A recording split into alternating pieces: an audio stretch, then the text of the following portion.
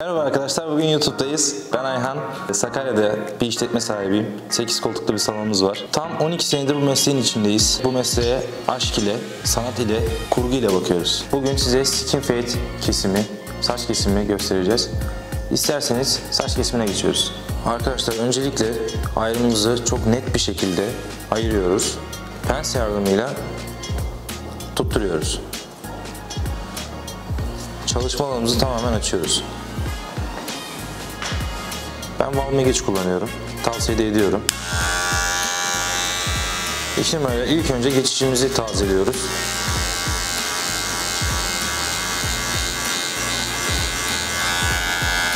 Bu arada fade kullanmanızı çok tavsiye ederim. Çünkü e, fade'siz bir tıraş iştir.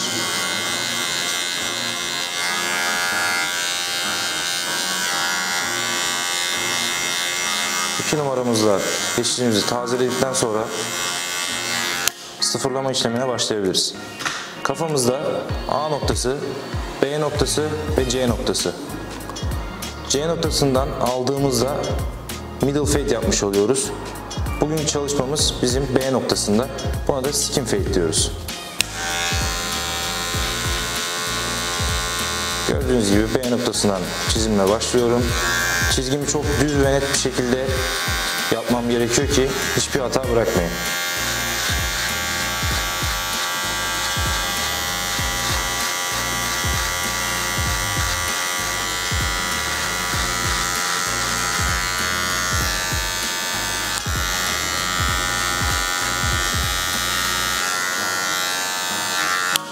Arkaya doğru çizgimi biraz daha ovalleştiriyorum. Çünkü daha çok beni, bana yardımcı olmasını sağlayacak.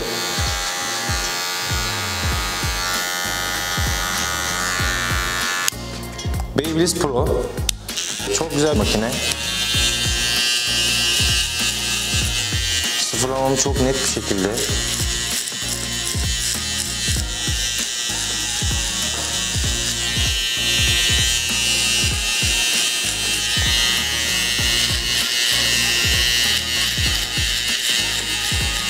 Aynı şekilde fade'imi kullanmaya devam ediyorum.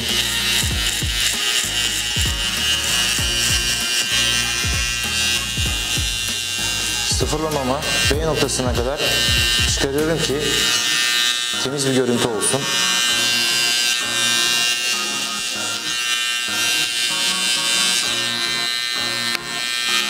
Ve en son yine Babyliss Pro ile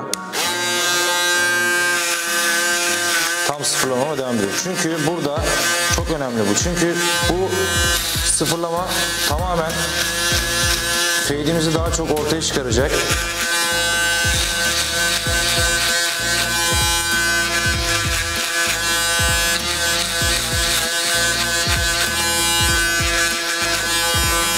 tertemiz bir görüntü ortaya çıktı. Gördüğünüz gibi.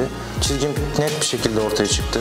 1.5 numaramızda yani 4.5 milimle geçişimizi yine tazeliyorum ki hani şuradaki benim payım şuraya kadar bir buçukta çıkmak istiyorum. Çünkü hani burada çok net bir geçiş istiyorum. Skin fade'in zaten amacı budur.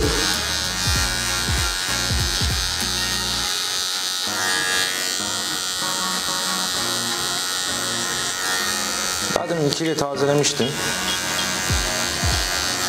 Bir buçukla A noktasının bir alt kademesine kadar çıkıyorum.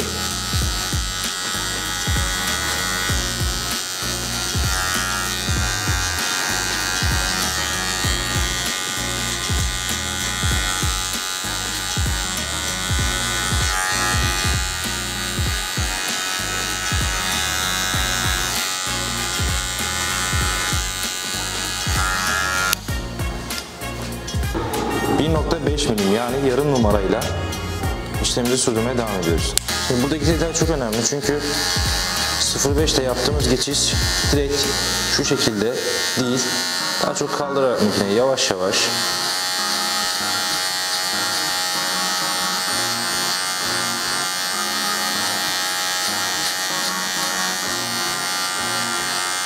B noktama kadar çıkıyorum.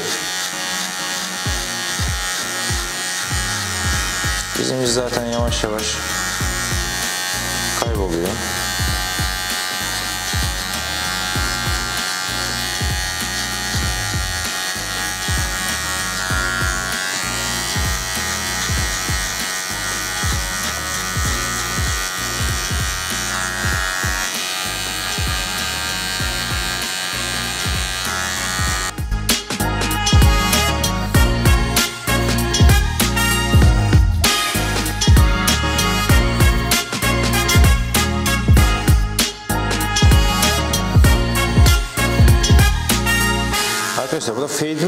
Çok dikkat ediyorum. Fade'imi kullanmazsam eğer hiçbir şey göremem. Çünkü şimdi makineye vuralım mesela. Makineye vurdum. Şurada bir kıl kaldı.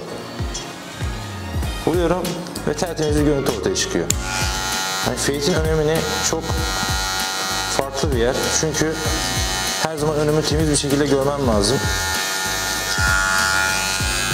Ve bir buçuk numara şunu şunu yapıp geçmeyin. Çünkü üstünden defalarca geçin ki hiç e, hatasız bir şekilde kesim çıkarın ortaya.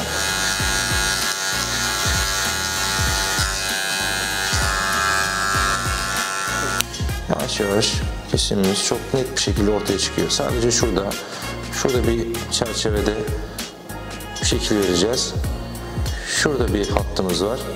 Onu aldıktan sonra makas işlemimize devam edeceğiz.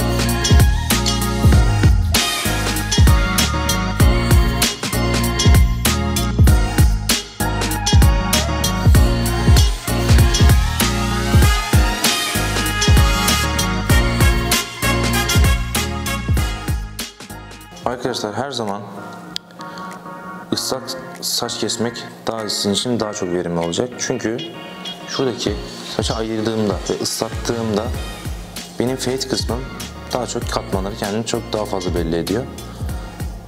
O yüzden ıslak kesiyoruz. Kafa döneğimin tam merkez noktasından aşağı doğru iniyorum. Ve net bir şekilde ayrımım ortaya çıktı. Saçı ortadan ikiye doğru ayırıyorum. İki bölmeye alıyorum yani. Şöyle adlandırabiliriz. Burası A noktası, burası B noktası.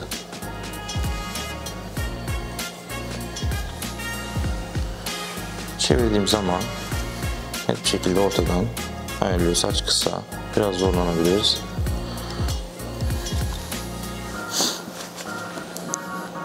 Şimdi demiştik ki burası A noktası, burası B noktası. Şimdi şuradan ön kısmımı yan taraftan koparıyorum. Şu an A noktasında çalışıyorum. Katmanım belli. Alacağım yer belli. Şu şekilde saça uçlarına hemen hemen makasın ucuyla dokunuyorum sadece. Dokunduğumdaki kat izinin salaşlığı ortaya çıkacak zaten. Yavaş yavaş gidiyor. Ve bunu aynı şekilde buradan alıyorum ve uç noktasına yine dokunarak net bir şekilde aldım. Ne yaptık? Katisimiz daha çok hafifledi. Daha salaş bir görünüm ortaya çıktı. Yine aynı şekilde önden kılavuz alarak her şekilde şu şekilde öndeki saçı bırakmıyorum hiçbir zaman. Hafif bir tutam alıyorum kendime. Yine makasın ucuyla çalışarak nokta kesim tekniğiyle katisimi biraz daha hafifletiyorum.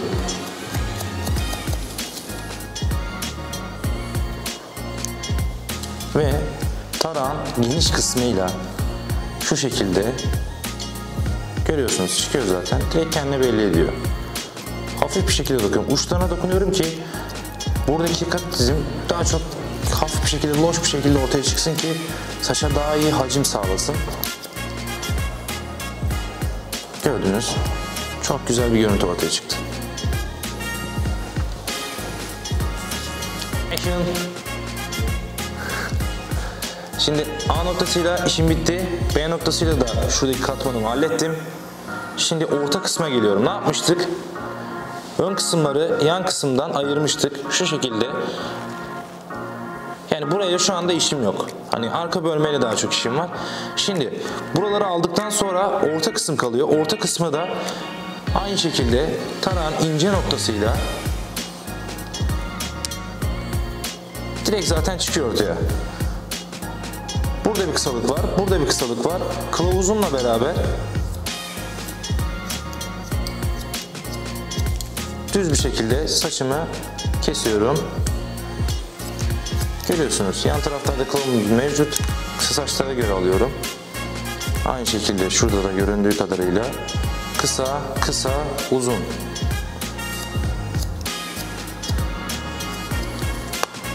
Arka bölmeye doğru gidiyorum çünkü arkalarımda da aynı şekilde. Saçımın üst noktasını bitirdim. Ön kısma geliyorum şimdi. Ön kısımları nasıl olmalı? Salaş bir, dağınık bir kesim istiyorsak eğer yine aynı şekilde makası tam uç noktasına değil de biraz paralel tutuyorum. Yani biraz eğik tutuyorum ki saç daha çok hacim alsın, daha çok dağınık gözüksün. Şu şekilde vuruyorum.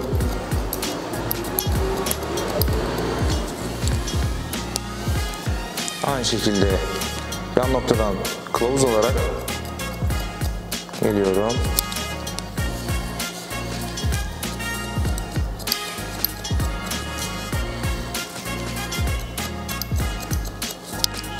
Ve şimdi burada en önemli detayımız var.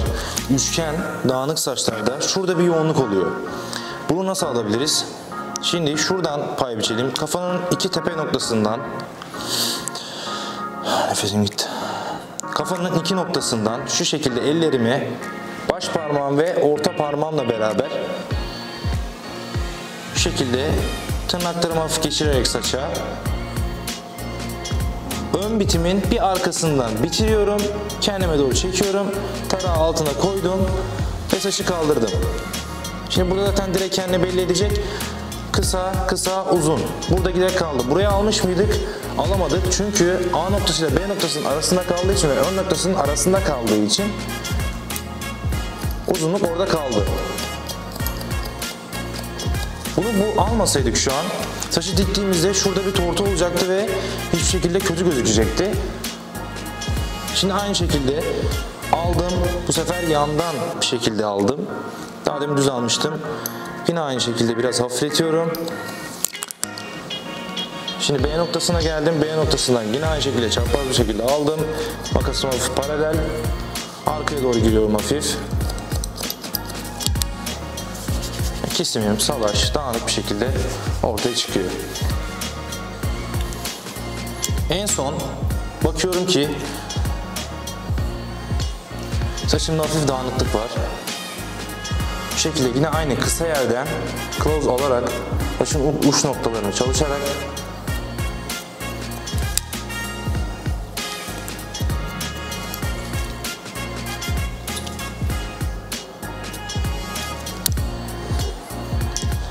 Saçımın ön noktası şu an nasıl gidiyor? V şeklinde gidiyor. Bunun çok V şeklinde olması gerekmiyor.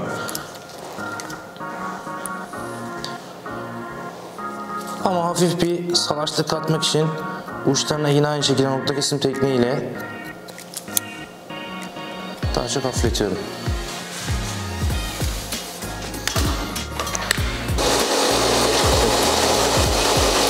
Saçıma bakmak amaçlı. Şu anda saçımı kurutuyorum.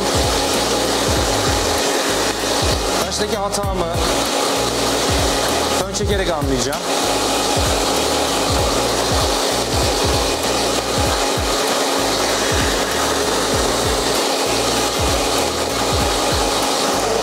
Saçımı güzelce kuruttum. Fön tarağımı alıyorum. Ve saça alttan vurarak, fönü alttan vurarak şuradan çeviriyorum. Saçı çok yormadan, hacmini kaybettirmeden uç noktasına vuruyorum. Ne yaptım? Saçımı kıvırdım. Saç hafif kıvırdım. Yine aynı şekilde yan tarafa geçtim.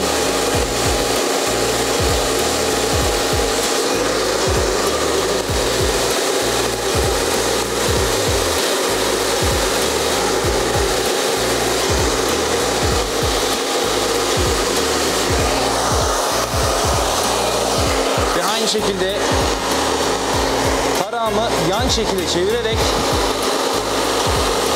hafif dalga katıyorum saça ki ısı veriyorum uçlarına. Daha çok dalga alsın, salaşlarını kaybetmesin, hacimli gözüksün.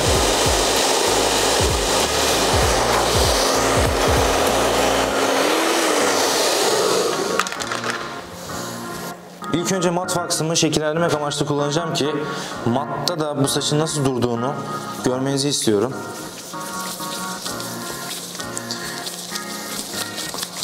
Sonrasında ıslak bir saç ortaya koyacağım. Islak vaks kullanarak. Elimi 5 parmağımı açarak saça iyice yedirmem lazım. Şekillendirme çok önemli. Saçın iyice yemesi lazım vaksı ki daha hacimli bir orta, saç ortaya koysun. Bu şekilde yine elim şu.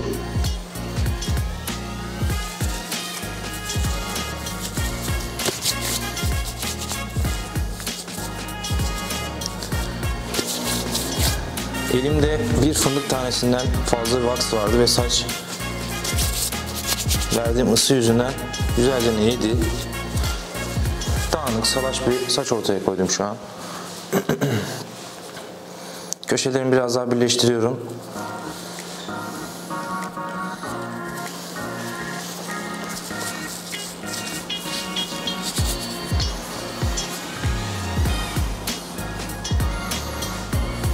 Taşı güzel bir şekilde alalım.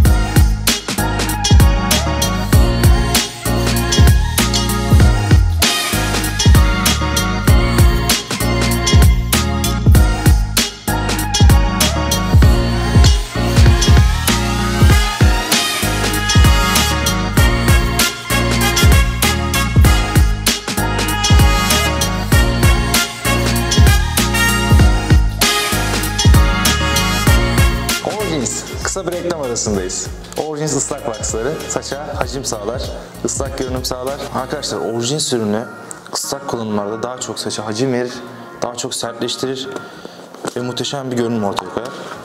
Hafif şekilde bir fındık tanesi kadar alıyorum elime. Güzelce yediriyorum. Elimdeki parlaklığı görüyorsunuz. Evet. Aynı şekilde 5 parmağımla beraber saça güzelce ne yiyecek?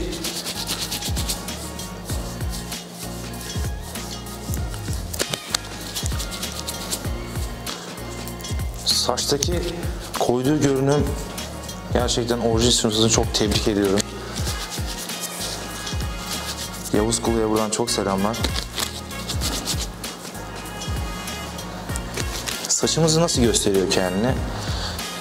Şöyle bir kameraya doğru güzel bir şekilde Çağrı Bey'e poz verelim.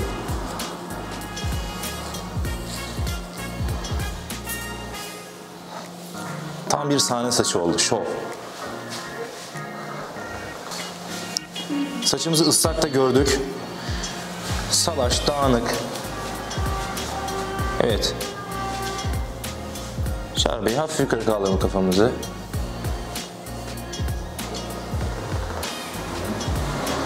Orijin sürümü bu arada kumral saçlarda daha çok renk ayrımını çok belli eder. Şuradaki ışıltı gibi gözükür. Şuradaki ayrıntıyı alalım.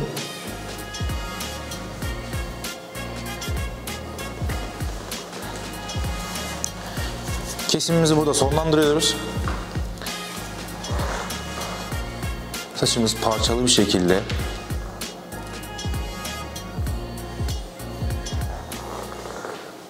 E, haftada bir olarak her cuma YouTube'dayız. Sağlıcakla kalın, özgüvenle kalın, güzel kalın.